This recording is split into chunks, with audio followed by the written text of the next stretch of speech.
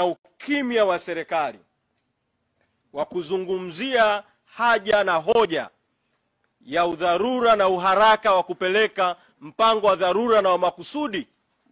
wa kupunguza mzigo wa gharama za maisha kwa wananchi na ukubwa wa bei. Matatizo ya msingi yanayochangia ugumu wa maisha kwa wananchi ikiwemo matatizo ya upungufu mkubwa na mgao wa umeme unaoendelea katika taifa letu yameendelea kutamalaki bila hatua za serikali. Sasa kwa sababu serikali hii haijachukua hatua toka tuanze maandamano Dar es Salaam, tunaendelea na maandamano nchi nzima,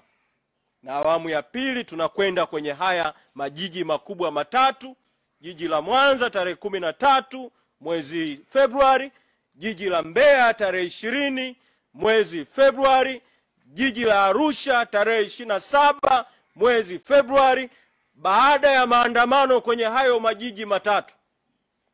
tutaeleza hatua zaidi ambazo Chadema tutawaunganisha wananchi kwa nguvu ya umma kuchukua hatua dhidi ya serikali, kuheshimu maoni ya wananchi na kutekeleza matakwa ya wananchi ambayo nayarudia tu kwa msisitizo,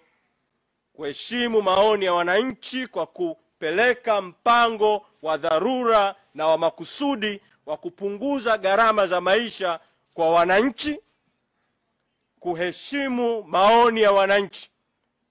kwa kufanya marekebisho ya kikatiba na kisheria ya kuwezesha uchaguzi huru na haki na kuendeleza mchakato wa katiba mpya